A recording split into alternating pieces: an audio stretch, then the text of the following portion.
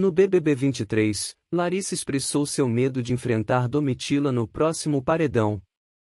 O 12 paredão da temporada tem sido um tema quente de conversa entre os competidores. As indicadas ao paredão são Marvila, Amanda Meirelles, Domitila Barros e Larissa Santos. Em conversa com Ricardo Alface na segunda-feira, 3 de abril, a professora de educação física admitiu sua apreensão em enfrentar a Miss Alemanha, que considera a mais forte entre as competidoras. Larissa baseou sua análise nas informações que obteve de fora do reality show antes de voltar para casa pela reunião House. Nos poucos dias que passou fora de casa, a catarinense concluiu que Domitila Barros tem muitos seguidores.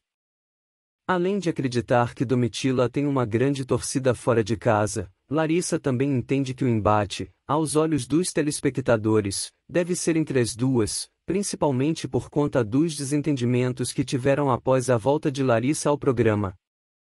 A professora de educação física espera o perdão dos telespectadores e afirma que a Miss Alemanha cometeu erros como ela. Larissa reconheceu que sabia que o despejo provavelmente recairia sobre ela e Domitila. Ela acredita que a Miss Alemanha é forte, mas manteve sua decisão de expressar suas queixas pessoais a ela.